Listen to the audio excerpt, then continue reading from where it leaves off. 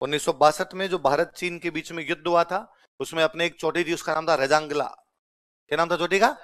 Geography पढ़ते हो आप? रेजांगला पास नाथुल्ला दर्रा ये पढ़ते हो? वैसे एक दर्रा है, उसका नाम है रेजांगला दर्रा। कौन सा है? उसमें इंडियन आर्मी बैठी हुई इंडियन आर्मी के सैनिक है 120 कितने सैनिक है? और उनके जो कमांडिंग ऑफिसर है, वो है मेजर सैतान सिंह। क्या नाम है? जोधपुर के अपने रहने वाले मेजर सैतान सिंह। 120 के आसपास फौजी है। वो ज़्यादातर फौजी रेवाड़ी के आसपास के कहा के? हरियाणा में रेवाड़ी रेवाड़ी के आसपास के फौजी और उनके जो कमांडिंग ऑफिसर है, वो कौन है अपने राजस्थान के मेजर? सैतान सिंह। उस चोटी के ऊपर बैठे हुए अपने दूरबीन लगा के नीचे देखा, तब पता चला पूरी एक चाइनीज़ ट्रुप पूरी एक चाइनीज़ बटालियन उस चोटी पे कब्जा करने के लिए आ रही है। लगभग 1200 1300 चाइनीज़ फौजी। मेजर के पास फौजी कितने? 120 तो मेजर ने अपनी पिछली जो चोटी थी, जो पिछली बैरक था, पिछली जो चौकी थी, वहाँ पर फ़ोन किया और फ़ोन करके कहा, भाई, हम यहाँ पर 120 है केवल। नीचे से हज़ार से अधिक लोग चाइनीज़ कब्जा करने के लिए आ रहे हैं। प्लीज़ सहायता भेजो कवर भेजो, हमें सहायता भेजो। पिछली चौकी जो थी, उसने समाचार दिया कि हमारे पास भी ज़्यादा फौजी नहीं है, इसलिए हम आपको सहायता नहीं भेज सकते। इसलिए आप अपने 120 सैनिकों को लेकर हमारी वाली चोटी पे आ जाओ, ये वाली खाली कर दो। भले चाइनीज़ कब्जा कर ले, लेकिन इसको खाली कर दो, आप वापस आ जाओ। पर चूँकि तुम वहाँ पर कमांडिंग ऑफिसर हो तो अंतिम निर्णय खुद का आपका है। आप जैसे चाहो कर लो, हमारा ये है कि हम सहायता भेज नहीं सकते। तुम ये खाली कीजिए खाली करके हमारे साथ आ जाइए। मेजर ने अपने सैनिकों को बुलाया और सैनिकों को बुला के मेजर सतान सिंह ने कहा कि भाई, नीचे से इतने लोग आ रहे हैं, हमने दूरबीन से देखे अभी। अपने एकदम कम लोग हैं। पीछे वाली चौकी से अपने को कोई सहायता नहीं मिल सकती। पीछे से अपने को निर्देश ही है कि अपने चौकी खाली करके जा सकते हैं। पर मैं मेरा ये मन कतई नहीं मानता कि मैं मेरी चौकी खाली करूँ, मैं मेरी जगह खाली करूँ और मैं वापस जाऊँ। लेकिन मैं आप पर कोई दबाव नहीं डालना चाहता। यदि आप में से कोई यहाँ पर नहीं रुकना चाहता, वो जा सकता है, उसको किसी प्रकार की कोई भी सजा मिलेगी पर फौज में ये उसूल है कि साहब ने कह दिया तो कह दिया, बाद में पीछे हटना। फौजियों ने कहा, साहब, आपने कहा आप रुक रहे हो तो फिर जाने का कोई मतलब ही पैदा नहीं होता। वो 120 फौजी भी वहीं रुके। क्या हुआ, क्या नहीं हुआ, इसकी हमें कोई जानकारी नहीं मिली। न तो हमें हमारे वो 120 फौजी मिले, ना उनकी कोई जानकारी मिली। हमने ये समझा कि शायद वो 120 फौजी या तो भगोड़े हो गए होंगे इधर उधर चले गए, या हो सकता है चाइना वाले उनको पकड़ के ले गए, हमारे पास उनकी कोई जानकारी नहीं। चाइना ने युद्ध शुरू किया था 1962 वाला। युद्ध शुरू किया, इतने में युद्ध शुरू होने के थोड़े दिनों बाद में बर्फबारी शुरू हो गई। हिमालय में उस साइड में स्नोफॉल होना शुरू हो गया, जैसे बर्फबारी शुरू होती है, चाइना साइड के रास्ते बंद हो जाते हैं। रास्ते बंद होते हैं, चाइना ने युद्ध बंद कर दिया। चाइना अंदर घुसा था, चाइना युद्ध बंद करके वापस निकल गया। चाइना युद्ध बंद करके वापस निकल गया, बर्फ़ जम गई, चोटियों के ऊपर युद्ध बंद हो गया। आप ज्योग्राफी पढ़ते तब आप पढ़ते हैं कि हमारे हिमालय क्षेत्र में कुछ जनजातियाँ रहती है, जो बर्फ़ जब गिरती है, तब मैदानों में आ जाती है, बर्फ़ जब पिघलती है, तब वापस ऊपर पहाड़ पर अपने पशुओं को चराने के लिए जाती है। एक बार ऐसी कोई जनजाति का एक बंदा अपने पशुओं को चराने के लिए रजांगला की चोटी पर गया और उसने जाके देखा, लाशें लाशें पड़ी है। चारों तरफ़ वहाँ पे डेड बॉडीज थी। वो भाग कर नीचे आया। इंडियन आर्मी को उसने बताया कि ऊपर लाशें पड़ी इंडियन आर्मी ने जाके जब चेक किया, तब 120 अपने वाले 1300 चाइनीज़ सारे मरे हुए हैं। 120 लोगों ने 1300 मार दिए थे।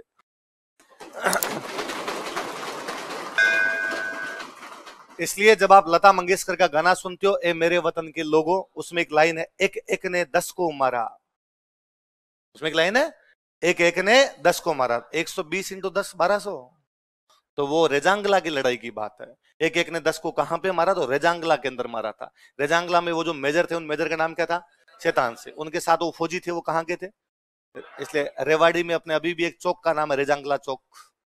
चौराहे का नाम है रेजांगला की लड़ाई में रेवाड़ी के शहीद हुए थे। और आपने यहाँ पर जो शैतान सिंह जी का गाँव था, वो था बाणासर, जोधपुर के अंदर। बाद में उस गाँव का नाम किया गया मेजर शैतान सिंह नगर। क्या किया गया? और उन मेजर शैतान सिंह को बाद में मरणोपरांत परमवीर चक्र दिया गया था। परमवीर चक्र दिया गया था। उनके ऊपर नारायण सिंह जी ने बुक कौन सी लिखी? भाई बात सुन मतलब सब लोगों के लास्ट तक भी हाथों के अंदर और वो बंदूकें उनकी। मेजर शैतान सिंह के दोनों हाथों में इन गोलियाँ लग गई थी। तो उस बंदे ने वो स्टैंडगन लगा रखी है और अपने पैर के अंगूठे से दबा रहा है। हाथ टूट गए तो बाद में पैर से मरेंगे पर लड़ेंगे अपने चौकी को खाली करके तो जाएँगे नहीं। सारे के सारे चाइनीज़ को वही रख लिया था। इस मामले में तब मुझे कई बार लगता है कि यार, हम और एक मामले में बड़े दुर्भाग्यशाली हैं। आज़ादी के बाद के हमारे फौज के इतिहास की हमें कोई जानकारी नहीं है। हम जब इतिहास इतना ही पढ़ते हैं, जब राजा महाराजाओं की इतनी बातें पढ़ाई जाती है युद्धों की पढ़ाई जाती है सैंतालीस के बाद का क्यों ना पढ़ाया जाए? हमारे बच्चे क्यों ना जाने इस बात को? हमारी पीढ़ियाँ इस बात को क्यों ना जाने कि इस भारत भूमि की रक्षा करने के लिए किन किन लोगों ने अपने जान की बाजियाँ लगा दी? हम क्यों नहीं जानते कि 1971 के युद्ध में लड़ने वाले वो हमारे महान सेनापति कौन कौन थे? हम ये क्यों नहीं जानते कि 1948 के अंदर कश्मीर वाले युद्ध के अंदर हमारे कौन से लोग शहीद हुए, किनको परमवीर चक्र मिला? हम ये क्यों नहीं जानते कि 65 और 99 के युद्धों के अंदर, मैं कहता हूँ चूरू सिक्कर झुंझुनू का कोई गाँव नहीं इसमें 99 का शहीद नहीं है। आप कभी साइड के अंदर जाके देखो, हर गाँव के अंदर आपको शहीदों की मूर्तियाँ लगेगी। पर उनके बारे में हमारे पास कोई जानकारी नहीं। उनके किस प्रकार की लड़ाई लड़ी, कैसे लड़े थे, इस प्रकार की बातें बताई जाए तो आने वाली पीढ़ियाँ जाने, आने वाली जो संतानें वो जान पाए कि ये जो शांति जिसे हम महसूस करते हैं कि सुबह सात बजे कोचिंग आए, शाम को वापस चले गए, दोपहर में वापस चले गए, शाम को जाके खाना खाया, आराम से सो गए, हम इसलिए कर पाते हैं कि कोई ना कोई हमारा भाई उस बर्फ़ के अंदर खड़ा है। हम इसलिए कर पाते हैं कि कोई ना कोई वहाँ पे लड़ रहा है। आपकी शांति किसी दूसरे के युद्ध की वजह से आप चुप इसलिए बैठे हो, आप शांत इसलिए बैठे हो कि कोई ना कोई आपके लिए लड़ रहा है। बड़ी बात यह कि हम उनको क्रेडिट भी नहीं दे पा रहे। और चूँकि ये नहीं पढ़ाया जाता इसलिए कोई आके सो कोल्ड इंटेलेक्चुअल आके बाद में कहते हैं यू नो ना, युद्ध बंद हो जाने चाहिए। हमें पाकिस्तान से लड़ाई नहीं करनी चाहिए। अरे तुम नहीं करोगे तो वो करेगा। तुम एक बार करके देखो, देखे। तुम्हारे भाइयों को, तुम्हारी फौज को कहो कि वहाँ से हट जाओ, वो शाम से पहले पहले पटियाला पे कब्जा करेंगे। तुमने इसलिए लगा रखे हैं कि उधर वालों का भरोसा नहीं है। तुमने इसलिए लगा रखे हैं कि चाइना का भरोसा नहीं इसलिए खड़े होना ज़रूरी है। इसलिए युद्ध करना ज़रूरी है। इसलिए वहाँ पर रहना ज़रूरी है। पर हमें इस इतिहास के बारे में कुछ भी बातें बताई सेवेंटी वन अपने भारत का सबसे अच्छा वो बड़े वाला युद्ध, है ना? और अपना ही नहीं मतलब विश्व इतिहास में पढ़ाया जाना चाहिए। यार, कोई देश किसी दूसरे देश के टुकड़े कर देता है। हमने पाकिस्तान के दो टुकड़े किए हैं। बांग्लादेश नाम का अलग देश बना दिया हमने। उसकी आप, उसको तो युद्ध को आप पढ़ोगे भी आप गूगल करना। उसके स्ट्रेटेजी के बारे में, उसके युद्ध लड़ने के बारे में हम क्या लड़े यार उसके अंदर?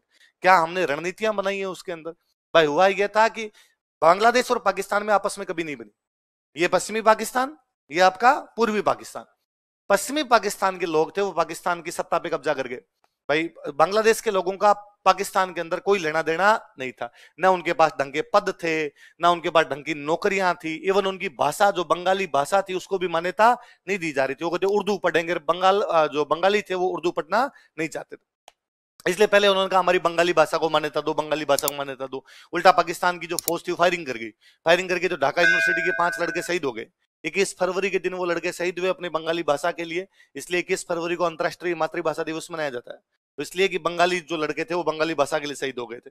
पहले उन्होंने आंदोलन चलाया, बंगाली भाषा को मान्यता दो। जब आंदोलन धीरे धीरे आगे बढ़ा तो उन्होंने कहा, बंगालियों का देश दो। कहा कि, भाषा हमारा देश होना चाहिए। देश कौन सा होना चाहिए? बांग्ला देश बांग्लाओं का देश। तो इसलिए कौन सा हो गया? बांग्ला तो जब इधर इन्होंने ये कहना शुरू किया तो पश्चिमी पाकिस्तान वालों के पास अधिकार सारे। पश्चिमी पाकिस्तान वालों ने अपनी आर्मी उतार दी। और आर्मी उतार का कुटोरिन बांग्लादेश वालों को बांग्लादेश वालों को गजब पीटना शुरू किया। मतलब पाकिस्तान की आर्मी ने बलात्कार, नरसंहार, मारना, इस मामले में तो आगे निकल गए थे बहुत भयंकर। उनका एक जनरल था टिक्का खान। जनरल टिक्का खान तो जनरल टिक्का खान ने बहुत ही बुरी तरीके से यहाँ पे लोगों से करना शुरू किया। तो लोगों को जब मारना शुरू किया तो लोग भागे कलकत्ता आने लग गए। अपने वाला पश्चिम बंगाल, वो पूर्वी बंगाल ही तो है। तो ढाका से लोग इधर अपने मूव, इधर मूवमेंट बढ़ा अपने यहाँ पे जत्थे के जत्थे लोगों के आ रहे हैं। अपने क्या करें उनका? इतने लोगों को हम कैसे रखेंगे अब? तो इंदिरा गांधी ने ये कहा कि भाई, अब अपनी पार पड़ेगी नहीं, अब इनका कुछ ना कुछ इंतज़ाम करना ही पड़ेगा अपने को। तो क्या किया जाए? तो क्या इसको टुकड़े को अलग ही करो। बांग्लादेश को अलग ही कर दो अपने। तो कैसे अलग कर दें अपने? तो अपने यदि बीच के अंदर आएँगे, तब तो बाकी वाले देश ये कहेंगे कि भाई साहब, इस प्रकार की चीज़ें नहीं होनी चाहिए। तो हमने बाद में कहा कि इनका भी कोई ना कोई इलाज करते हैं अपने। तो हमने कहा कि एक तो पाकिस्तान की हमने एयर बाउंड्री बंद की। हमने कहा, पाकिस्तान का कोई भी जहाज़ हमारे ऊपर से नहीं जाएगा। अब पश्चिमी पाकिस्तान से पूर्वी पाकिस्तान जाने के लिए तो अपने ऊपर से जाना पड़े हमने एयर बंद कर दिया, हमने एयर बाउंड्री बंद है। पाकिस्तान बुरा देश है, वो बांग्लादेश के अंदर इस प्रकार की बातें कर रहा है और हम हमारी एयर सीमा के ऊपर से उनके किसी भी हवाई जहाज़ को जाने नहीं दे तो उन्होंने फिर दूसरा रूट लिया, वो उधर कराची से निकलते, अरब सागर के ऊपर से होते हुए कोलंबो जाते, कोलंबो से ढका जाते। हमने और दिमाग लगाया, हमने श्रीलंका की सरकार के साथ एक समझौता किया, इंदिरा गांधी ने, और श्रीलंका की सरकार कहा कि श्रीलंका गरीब बड़ा सा देश है तू, तेरे पास नहीं तो ज़्यादा सिक्योरिटी है, और कोलंबो में तेरे को अटैक वटैक हो गया तो तो कोलंबो ने कहा हाँ यार, बात तो सही है तो हम तेरे को सिक्योरिटी देंगे। हमारी सेना लगा तो हमने कोलंबो में अपनी सेना लगाई। अब कोलंबो में अपनी सेना खड़ी है, उस सेना को अब ये कहा कि तुम ये जानकारियाँ दो इनके हवाई जहाज़ कितने जाते हैं, कितने नहीं जाते। तो वो कराची से उड़ते, कोलंबो रुकते, कोलंबो में फ्यूल लेते, ईंधन लेते, फिर वहाँ से आगे जाते। अब हमारे पास सारी जानकारियाँ थी कि पाकिस्तान के आर्मी के कितने जहाज़ गए, कौन से अफसर जा रहे हैं उनके, क्या बातें हो रही है कुछ कुछ हमने वहाँ से इनपुट लेना शुरू किया और अपने को बताता ऐसा ऐसा कुछ चल रहा है। अब हमने बांग्लादेश वालों को कहा कि तुम अपनी एक सेना बनाओ। तो उन्होंने अपनी सेना बनाई, बांग्लादेश मुक्ति वाहिनी क्या बनाई? बांग्लादेश को मुक्ति वाहिनी मतलब सेना, बांग्लादेश को मुक्ति। तो बांग्लादेश वालों का सेना बना क्या करेंगे? हमें तो लड़ना ही नहीं आता। सामान्य आदमी हम कैसे लड़ेंगे? हमने कहा तुम्हें नहीं लड़ना, लड़ेंगे हम। नाम तुम्हारा होना चाहिए। ये कहेंगे, भारत लड़ रहा है तो दूसरे देश हमारे बीच में आ जाएँगे। हम कहेंगे, बांग्लादेश लड़ रहा है। हमारा कोई लेना देना नहीं है। तुम तो खाली नाम की सेना बनाओ रे तुम कह दो, हम लड़ेंगे, बस नाम लो तुम्हारा। उन्होंने बनाया बांग्लादेश मुक्ति वाहिनी। अपने उस समय थल सेना, देख सो करते सेम मानिक सो। कौन थे? जनरल सेम के जो हॉर्ड ही नहीं है भाई साहब सेम सेम थे। जनरल सेम को इंदिरा गांधी ने बुलाया और इंदिरा गांधी ने बुला कर जनरल सेम जून का महीना था वो। ये बुलाया और बुला के कहा कि युद्ध शुरू करेंगे अब, बांग्लादेश मुक्ति वाहिनी आगे लड़ेगी, लड़ेंगे अपने, नाम इनका होगा और अपने इसको अलग करना, अब अलग करवाना इस बांग्लादेश को, वरना इन लोगों को अपने नहीं संभाल पाएँगे। जनरल सैम ने कहा कि मैडम, अभी युद्ध नहीं करेंगे, हम जून में युद्ध नहीं करेंगे। क्यों? तो गर्मियाँ पड़ रही है, गर्मियों में हिमालय पिघला हुआ एकदम। यदि हमने पाकिस्तान के साथ युद्ध किया तो चाइना पाकिस्तान का साथ देने के लिए आएगा। पर यदि चाइना साथ देंगे, हमें दो फ्रंट खोलने पड़ेंगे। एक फ्रंट चाइना वाला लड़ना पड़ेगा, एक फ्रंट पाकिस्तान वाला लड़ना पड़ेगा, और हम युद्ध नहीं कर पाएँगे दोनों फ्रंट के ऊपर। तो क्या किया जाए कि सर्दियाँ आने दो। सर्दियों में सर्दियों में हिमालय हमारी रक्षा करेगा। यूँ ही थोड़ी है कि हिमालय हमारा रक्षक है। सर्दियों में हिमालय साइड में बर्फ़ जमेगी, चाइना आ ही नहीं पाएगा। चाइना फ्रंट ही नहीं खोल पाएगा। तो कहा, तब तुम क्या कर सकते हो? उसने वापस कहा, जनरल सेम ने कहा कि पंद्रह दिन का समय। पंद्रह दिन दीजिए, पंद्रह दिन के अंदर अंदर पाकिस्तान घुटने टेक देगा। इंदिरा गांधी ने कहा, ठीक है, डन, दिसंबर के अंदर अपने लड़ाई करेंगे, आप अपनी तैयारी पूरी रखो। अब इंदिरा गांधी ने विश्व यात्रा शुरू की। इंदिरा गांधी इंग्लैंड गए। इंग्लैंड जाके कहा कि, देखो, बांग्लादेश में वहाँ पर अत्याचार हो रहे हैं, पाकिस्तान वालों को प्लीज़ समझाओ। और यदि तुम नहीं समझाओगे तो बाद में देखो, हमें इंटरफेयर करना पड़ेगा। हम उनको इंटरफेयर तो अपने कर ही रहे थे, पर हम कहना चाह रहे थे कि, देखो, तुम्हें कह दिया। कह दिया है ना भाई, हम कह के बात कर रहे हैं, फालतू में नहीं कर रहे। अमेरिका गए, अमेरिका जाके कहा, रूस के जो जो बड़े देश थे, उनको भोलावण दे के समझते हो? कह क्या है कि भाई हम ये करेंगे, देख लेना। पर दुनिया को ये लगा ही नहीं कि भारत इतना बड़ा स्टेप उठा सकता है कि पाकिस्तान पे हमला कर देगा। दुनिया वालों को ये लगा कि ठीक है यार, बात कर रहे हैं, बात करने में क्या होता है? ऐसे हमले थोड़ी होते हैं कोई। हमने एग्जैक्टली तीन दिसंबर को युद्ध शुरू किया सोलह दिसंबर को पाकिस्तान के तिरानवे हज़ार सैनिक घुटने टेक कर ऊपर खड़े हुए थे। तेरह दिन में जनरल से हम युद्ध जीत गए।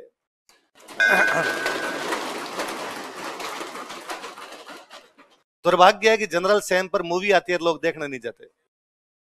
सेम बहादुर मुझे यार। और वो वो तो अच्छी मूवी भी नहीं है, इतनी अच्छी उन्होंने बनाई भी नहीं। मुझे है यार, मैं बनाऊ ना सेम पे तो इससे अच्छी मैं बना देता। कि जनरल सेम की जितनी बातें उसमें, वो किससे तो मेरे क्लास में सुना है मैं यार। इतनी बातें तो पहले से जानते थे। मूवी वालों का तो काम है रिसर्च करे रिसर्च करके थोड़ी और निकाल के लाए, पर फिर भी देखी जानी चाहिए। बच्चों को दिखाई जानी चाहिए कि यार, हम जनरल सेम क्या चीज़ थे, हमने आज़ादी के बाद में हमारे देश में क्या एक थल सेनाध्यक्ष प्रोड्यूस किया है। कि कितने शानदार बंदे थे। उधर जनरल सेम जब ये सेवेंटी वन वाला है तो तीन फ्रंट है जो पाकिस्तान से लड़, लड़ाई लड़, लड़ाई हो सकती है। ढाका उधर वो वाला फ्रंट है। पंजाब इधर से अपनी सीमा लगती है एक फ्रंट अपना जैसलमेर। तीन वाले फ्रंट है। तीनों फ्रंट पे राजस्थान के कमांडर है। और हमें तीनों के बारे को जानकारी नहीं मिलती। और ढाका वाला तो गजब ही है। ढाका वालों पे वापस एक मूवी है पलटन। जैकी श्रॉफ की एक मूवी देखना कभी पलटन जो वास्तव में 67 के नाथुला वोर पे है। 62 के अंदर हम चाइना से हारे थे 67 में नाथुला में चाइना को हारा है। दुर्भाग्य देखोगे, हमारे लोग तक नहीं जानते कि हम 67 में चाइना को हरा गए थे। हम नाथुला के अंदर जीत गए थे, हम नाथुला जीते थे। वो अपने एक लेफ्टिनेंट जनरल सगत, जिनके नाम पर ये इधर वाली रोड है आपके, ये क्विंस रोड से आगे जाते हैं तो इधर जो जयपुर के अंदर चौक बना हुआ लेफ्टिनेंट जनरल सगत के नाम पर है। तो जनरल सगत थे वहाँ पर। उन दिनों अपने यहाँ पे ईस्टर्न कमांड जो अरुणाचल ये पूर्वी कमांड जो अपनी नॉर्थ ईस्ट वाला है, यहाँ पर एक हुआ करते जगजीत सिंह अरोड़ा, जग्गी। जग्गी यहाँ के मुख्य थे और जग्गी के अंडर में काम कर रहे सगत। तो जग्गी ने, जगजीत सिंह अरोड़ा जी ने लेफ्टिनेंट जनरल सगत को कहा कि आपको ढाका कैप्चर करना है। ढाका में घुसने से ठीक पहले एक नदी आती है मेघना। अपने ज्योग्राफी में पढ़ते हैं मेघना नदी। तो जनरल ने ऑर्डर ये दिया, जगजीत सिंह जी ने ऑर्डर ये दिया कि आपको जाना है और मेघना पे जाकर रुक जाना है। और मैं आपको मेघना पे जाने के बाद आगे बताऊँगा क्या करना क्या नहीं करना और आपको दस बजे तक मेघना पहुँच जाना है। सगत ने कहा, ठीक है, पहुँच जाएँगे, कोई दिक्कत ही नहीं। आठ बजे पहुँच गए ये लोग। तो सैनिकों ने कहा, सर, दो घंटे तो पड़े क्या करें? कहा, मेघना क्रॉस कर लो। मेघना क्रॉस कर गए। जैसे मेघना क्रॉस किया गया ढाका ढाका पे कब्जा। पाकिस्तान की आर्मी सरेंडर कर गई। पाकिस्तान की आर्मी ने घुटने ही टेक दिया उन्होंने कहा, भाई साहब, काली गाय है, मुँह में तिनका लेके माफ़ी मांग ले। हमारे लड़ने की कोई हिम्मत नहीं है। और आप जैसे कहो, वैसे करो। अब ये बात पता चली जग्गी को। जग्गी को उन्होंने कहा, सगत ने कहा, भाई, हमने ढाका कैप्चर कर लिया और जग्गी बड़े नाराज़ हुए। और जग्गी ने कहा, मैंने कहा था कि तुम ढाका नहीं घुसोगे, तुम मेघना क्रॉस नहीं करोगे, तुम्हें मेघना तक ही जाना, तुमने क्रॉस क्यों किया? और दो घंटे पड़े थे, फ्री क्या करते? हम आ गए, हमने कब्जा कर लिया और जगी नाराज़ हुए और जगी ने कहा, वापस आओ, वापस आ जाओ। उधर लेफ्टिनेंट जनरल सगत ने कहा कि, वापस दो ही सूरत में आएँगे, या तो मुझे मार दो, तुम्हारी फौज को ऑर्डर दो कि मुझे मार दे और वापस आ जाए, या दूसरा ये कि प्रधानमंत्री का दे। वो वापस नहीं आएँगे। तो जगजीत सिंह जी ने कहा, ठीक है तो प्रधानमंत्री से कहलवा देते हैं। प्रधानमंत्री आवास का साउथ ब्लॉक, प्रधानमंत्री इंदिरा गांधी एक सीरियस मीटिंग ले रहे हैं। हमें क्या करना है, क्या नहीं करना क्योंकि हम जीतने के बहुत करीब जाने वाले थे। अभी तक सूचना नहीं कि हम जीत चुके हैं, ढाका कैप्चर कर चुके हैं। अब वहाँ पर बात चल रही है अमेरिका क्या जवाब देंगे, फलाने क्या जवाब देंगे, अपने क्या करना, यदि कब्जा कर लेंगे, उसके बाद क्या करना। इंदिरा गांधी बैठे हुए इंदिरा गांधी के ठीक पास में तत्कालीन रक्षा मंत्री बाबू जगजीवन राम बैठे हुए अन्य मंत्री और आई वगैरह सब बैठे हुए इंदिरा गांधी बड़े सीरियस रहा करते थे, हँसते नहीं थे। और दुनिया में जितनी महिला शासिकाएँ हुई है, वो कभी हंसती भी नहीं दिखाई दी। महिलाएँ शासिकाएँ हमें क्रूर हुई है। तब यूँ आता है कि महिलाओं में ममता होती है, शासिकाओं वाले मामले में कहते ये लागू ही नहीं होता है। ये शायद इसलिए भी है कि महिलाओं को लगता है कि यदि वो इतनी क्रूर नहीं हुई तो पुरुष हावी हो जाएँगे। इसलिए पुरुषों को दूर रखने के लिए, हावी होने से बचने के लिए ज़रूरी भी है कि उतना ही रहे। इसलिए बाद में मायावती, जयललिता टाइप के तो अपने नेता है, उन्होंने तो बाद में जो जो पुरुष अधिकार थे उनको कहा, जूते उठा गया सैंडल ताकि उसकी औकात पता चले, वो ईगो मरे उसका, वरना उसको लगे, मैं पुरुष हूँ, महिला के सामने कुछ सैंडल उठा, कुछ ही नहीं करेगा तू। तो महिला शासिका उस टाइप की रही है एकदम। तो इंदिरा गांधी वैसे एकदम सीरियस रहते, बोलते बोलते, वो हँसते नहीं थे ज़्यादा। पर्ची एक आई बैठे हैं वहाँ पर, उनके पास में एक पर्ची गई है। उस पर्ची पे खाली था, लिखा हुआ ढाका कनकड़ ढाका जीत लिया गया है। पर्ची आगे बढ़ी आगे बढ़ी आगे बढ़ी। बाबू जगजीवन राम के पास पर्ची आई। बाबू जगजीवन राम ने रक्षा मंत्री थे, उन्होंने पर्ची देखी। पर्ची देखे कहा, यार, ये ढाका जीत लिया तो मैडम को बतानी पड़ेगी। चलती मीटिंग के अंदर बात बतानी पड़ेगी। उन्होंने धीरे से पर्ची आगे बढ़ाई, मैडम की तरफ़ दी। मैडम ने पर्ची देखी। पहली बार लोगों ने इंदिरा गांधी को नाचते हुए देखा था। साउथ ब्लॉक में इंदिरा गांधी की साड़ी के छोर लहरा रहे थे। इंदिरा गांधी नाच रही थी, ढाका कर। हम तेरह दिन के अंदर अंदर पूरा एक देश बना गए यार कभी इस बात को इमेजिन कीजिए, मैं तो यूँ अकेले में बैठे सोता हूँ गुज बम्स होते हैं। यार, देश तोड़ गए अपने। पाकिस्तान का एक टुकड़ा अलग कर दिया हमने, पूरा एक अलग नया देश बना दिया, उस देश का नाम क्या था? और दुनिया देखती रहेगी। दुनिया ने बाद में कहा, ऐसे कैसे कर देगा? हमने छह महीने पहले कहा था। वैसा पंगा चल रहा है वहाँ पे। और हम लड़े नहीं, मुक्ति वाहिनी लड़ी। दुनिया करे हम जानते रहे मुक्ति वाहिनी में कौन कौन थे। तुम बड़े गए हुए थे वहाँ पर सारे। तो ऐसे खूब सारी कहानियाँ हैं, खूब सारे किस्से हम कोई जान पाए कभी कि सेवेंटी वन में अरुण खेत्रपाल कैसे लड़ लिए थे। बहुत यंग सा लड़का, पाकिस्तान वाले उत्तर असल की लड़ाई में क्या लड़ा होगा उसके अंदर? हम अरुण खेतलपाल के बारे में कुछ नहीं जानते, हम हनुज सिंह जसोल के बारे में कुछ नहीं जानते। इधर तो जैसलमेर वाले बॉर्डर में तो अपने दिया कुमारी जी के पापा थे। भवानी सिंह, मेजर भवानी सिंह। तो पाकिस्तान ने जैसलमेर वाले बॉर्डर से आक्रमण नहीं किया। पाकिस्तान ने दो ही फ्रंट खोले। पंजाब वाला फ्रंट खोला, ढाका का फ्रंट खोला। दोनों पे वापड़े हार गए तो उधर वो आए नहीं। उनका यार इधर ही पार नहीं पड़ रहे। तो इधर दिया कुमारी के पापा भवानी सिंह जी बैठे थे। और भवानी सिंह जी को लगा गया यार फ्री बैठे बैठे, क्या करे? इन्होंने पाकिस्तान पे हमला कर दिया। कब्जा कर लिया था। पूरा पाकिस्तान का एक डिस्ट्रिक्ट कब्जे में गया था अच्छा छाछरो। और छह महीने तक छाछरो हमारे पास था। छाछरो में भारत के कलेक्टर बैठते थे कैलाशदान उज्जवल। छाछरों के अंदर रहते थे। सेवेंटी टू का शिमला समझौता जब होता है, उसके अंदर पाकिस्तान वाले इंदिरा गांधी से कहते हैं, हमारा छाछरो वापस दो। तब हमने छाछरो वापस दिया।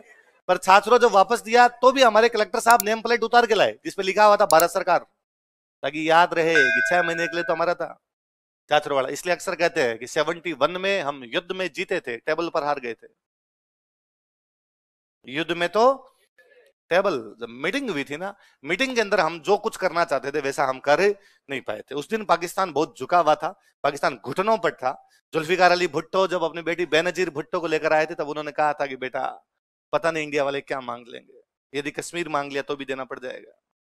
पर हम मांग ही नहीं पाए ज़्यादा। उल्टा हमने उन तिरानवे हज़ार फौजियों को भी बहुत सही ढंग से रखा था, उनको सबको वापस सौंपा था हमने। पाकिस्तान ने हमारे खूब सारे फौजी रख लिए थे, उनको वापस नहीं भेजा था। प्लीज़ प्लीज़ यूट्यूब पर एक मूवी पड़ी नाइनटीन देखना कभी। दुर्भाग्य देखिए, सिप्पी सिप्पी की बनाई रोहन सिप्पी की मूवी है शायद वो। उन्होंने बनाई 1971 इतनी बेहतरीन मूवी है मनोज वाजपेयी की, उसको वितरक नहीं मिले। वितरक समझते हो? एक कोई मूवी बनाता है मूवी बनाने प्रोड्यूसर मूवी बनाता है मूवी बनाने के बाद सिनेमा हॉल के अंदर बांटता हो वितरक डिस्ट्रीब्यूटर जिसको बोलते हैं। तो कोई किसी ने मूवी खरीदी नहीं। तो 1971 को देखने कौन आएगा? भारत में कौन देखता है ऐसी मूवी लोगों को पता ही नहीं है। इसलिए बेचारे का और बस चला नहीं तो उसने कहा, भाई, नहीं बिक्री तो अपने पास में रख ली रील उसकी। लॉकडाउन में कोई एक बंदा मनोज वाजपेयी का फ़ैन उसने मनोज वाजपेयी को ट्वीट किया कि, मैंने तुम्हारी मूवी की लिस्ट देखी है, उसकी मेरी सारी मूवी देखी हुई है तुम्हारी। एक मूवी का नाम है तुम्हारी लिस्ट में 1971 वो मैंने देखी भी नहीं और कहीं है भी नहीं। तो मूवी तुम्हारी कहाँ गई? यदि तुमने 1971 में काम किया, ये मूवी कौन सी थी? मनोज वाजपेयी ने उस लड़के को कोई आंसर नहीं दिया। रिट्वीट करते हुए कोर्ट में उस डायरेक्ट, उस प्रोड्यूसर को कोर्ट कर दिया कि भाई ये मूवी प्रोड्यूसर के पास पड़ी है, ये जाने इसका काम जाने प्रोड्यूसर को लगाया यार लॉकडाउन में जनता भरी बैठी है और ये बेचारा देखना चाहता है, दे दी जाए। उसने यूट्यूब पे फ्री में डाल दी। यूट्यूब पे सबसे अधिक देखी गई मूवी है वो। 1971 किस प्रकार हमारे फौजी पाकिस्तान की जेल के अंदर रह गए थे वहाँ से भागने का प्रयास करते हैं? उस उस पे बनी हुई मूवी 1971 वाले। तो वो तो आप पक्का आज ही जाके देखोगे। यदि किसी ने नहीं देखी तो भारत की नागरिकता समाप्त कर दी जाएगी फालतू में देशभक्ति की बातें करते हैं यार। हमें सैंतालीस के बाद के बारे, बाद का इतिहास है, वो कुछ भी जानकारी या बच्चे राजाओं के बारे में पढ़ाता हूँ तो मेरी जान खाते रहते हैं। सर, फलाना युद्ध बता दो। सर, इसमें 700 सैनिक गए थे 800 गए थे। यार, सैंतालीस के बाद हमारे भाई इतने लड़ गए उसके बारे में तो पता होना चाहिए।